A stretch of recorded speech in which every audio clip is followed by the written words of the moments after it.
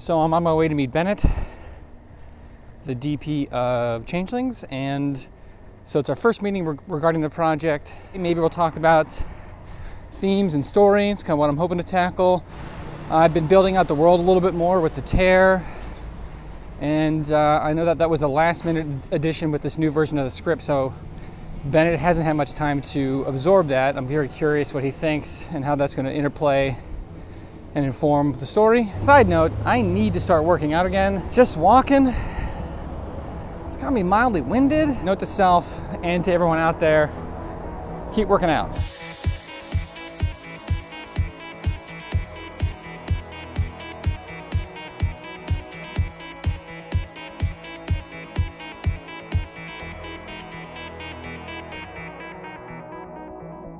All right, so that was the one bit of verite that I got today uh, for the show. I'm sorry that we have to be stuck behind this uh, computer for the rest of the vlog, but thanks for stopping by for the 17th installment of the Changelings 90 Day Vlog Marathon.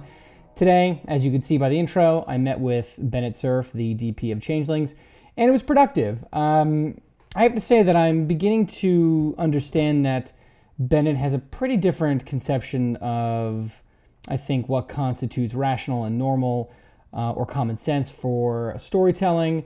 Uh, and that's okay. You know, we definitely see the world in different ways, and I think that that could be beneficial so long as we're on the same page uh, in general for the story. A healthy back and forth, uh, debating human action, I think, is always important to determine, you know, whether or not something is actually making sense, uh, or whether or not, in the context of the story, it pushes things forward, even if it is irrational.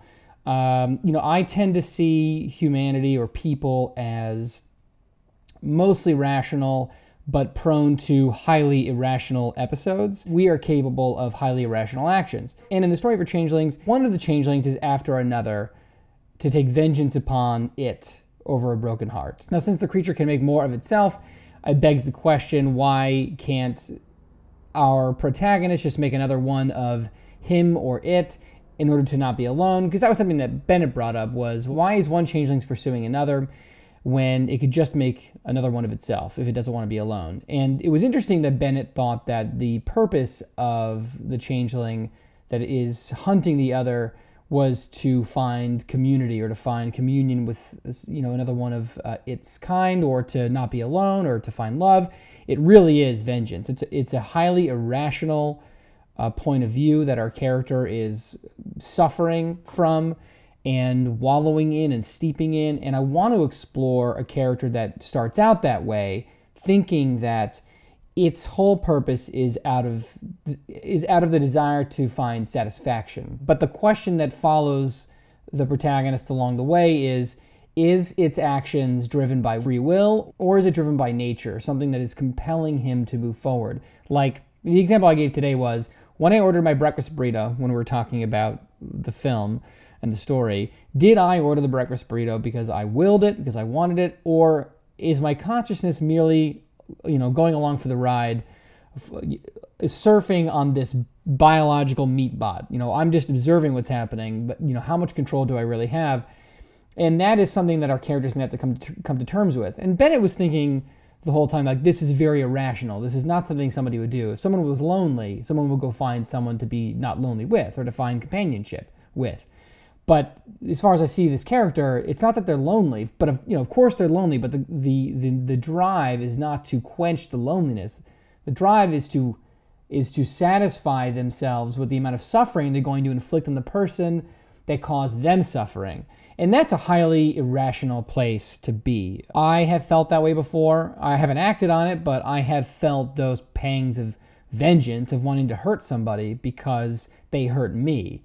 But thankfully, because I'm a kind and decent human being, nothing happened. And so, you know, it's something that I'm going to have to work through the script to better explain and uh, to make sure that when we're, you know, when I'm talking about this with other people, that aspect is really, really locked down. And I think that people are reading the script thinking, that it's about loneliness or it's about trying to find companionship. And although the script does lean on a romantic notion of that, uh, it it really isn't about that in its totality, especially when we start talking about the bigger picture of the of the feature. And um, you know, I think that probably I have to go a little bit harder with the vengeance theme a little bit uh, to really play that aspect up and play down the romantic sentimentalism in it. I think that that's a weakness in my writing, as I tend to get a little sentimental now and again, and I'm trying to get beyond that. Not only that, but because it's about identity and because it's informed by what's happening in society today about uh, gender identity and and trans issues, that sort of informs the piece. You know, he, he was asking, is you know, can we bring it closer to something like that? The film is informed by this debate, but it isn't about trans issues. It isn't about being closeted homosexual. It isn't about these things. The character is really driven by revenge, but the internal conflict or the question that really plagues the character is, is this me doing this or am I driven by my nature to do this? The character in the film is drawn to the other changelings. For better or worse, there's something compelling it to find the other. And I mean that in a very literal sense. Imagine if you were a duck and you were flying south for the winter. Uh, there's evidence to suggest that ducks can see or at least sense of the magnetic field of the Earth in order, in order to determine where south is. I sort of imagine it like that. Like the one changeling can sort of sense the other generally, like south. That way, south. But it, it can't pinpoint. That raises a question in the changeling's mind. Am I really drawn to this creature out of vengeance, or is this something that I'm telling myself because I'm being drawn to it biologically? Uh, so this, these are some of the big existential questions that I'm trying to deal with, and so I'm obviously I'm going to have to do some more research in this regard. Uh, but that's generally where I want to go with it. We didn't get to talk too much about visuals today. We talked a little bit about lenses. I'm a big fan of vintage lenses, so I was wondering if it was possible to use the same lenses Dean Cundey shot the thing with because I just I love the flaring, I love the way it looks. It just it just has a nice quality to it, a vintage quality which I really really love. But I think that that's going to be unaffordable, and I guess it's neither here nor there. So we didn't get to talk too much about aesthetics, but that's okay. So I realized that I have to go back to my script and do some more work on it to try to clarify some of these questions that Bennett was having about the story, but also how to inject these themes that I'm talking about into the sizzle or the trailer, because I only get about a minute to two minutes to really convey the story. And so one thing that we were talking about was uh, formulating a new scene to create a an overarching dialogue that that paces us through the scene. So not only are we rhythmically uh, hitting notes that are tense and crunchy and scary to really drive the piece visually, but also the sound ups or the, the dialogue that I'm going to be placing in between shots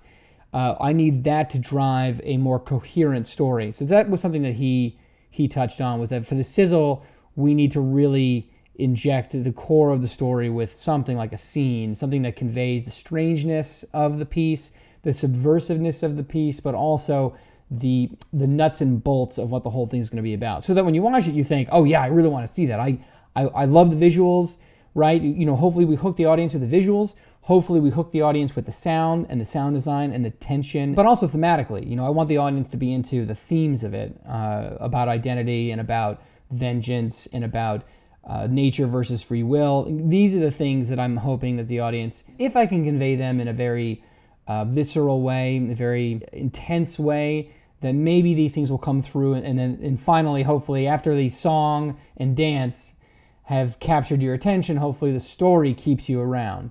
Uh, anyway, so that was the meeting with Bennett today. I thought it was very productive. I obviously need to do some more work story wise to clarify some of these questions that he had about how I'm going to be dealing with identity and how uh, a character could be acting so irrationally in what I think he perceives as a very rational world. I think that we need further discussion about that. But I think that I, um, I think that's going to come once I do some work on the script this weekend. I'll let you know how that goes. In the meantime, I'm going to be meeting with Mike Pedraza, our editor for Changelings, next week. We're going to be sitting down and talking about the script and talking about editing and how editing is going to shape Changelings. Uh, so keep an eye out for that. That'll be a nice long discussion. Let me know what you think of identity and of vengeance and rationality and irrationality and how you feel you would like to see those things portrayed in cinema or in storytelling. What are the things that really excite you about those topics and how would you like to see them portrayed in film and storytelling? Let me know in the comments below. I will see you tomorrow.